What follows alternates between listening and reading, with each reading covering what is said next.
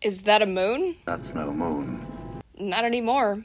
Over a year ago, Reddit managed to produce a bright spot in a brutal bear market by allowing a feature called Community Points to be converted into individual cryptocurrencies for subreddits. The two most popular crypto community points became our Fortnite's bricks and, not shockingly, our cryptocurrencies, moons. Not only was Moons the only crypto with Moon in the name to continue seeing an upward trend, unlike others, it was a more profitable way to farm engagement points for money than whatever advice you're getting from some of those other accounts on X. But last week, Reddit nuked Moons and all community points like it was the Death Star after citing regulatory concerns in an internal meeting. The moderators refrained from selling until the news was announced, and then the free fall began.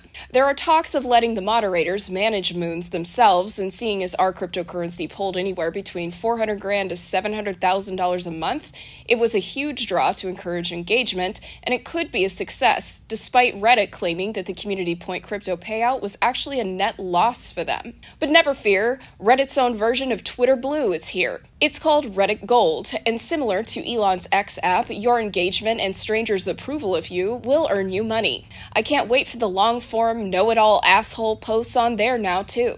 I swear to carbohydrates, if I read another post about how growing an X account came at the expense of getting laid, I am going to start a GoFundMe for a hooker. Stop telling the world that you prefer internet strangers to human touch. It's weird. It's also a lie. I'm Tupac of Coors. Like and repost if you enjoyed this quick and useless crypto news.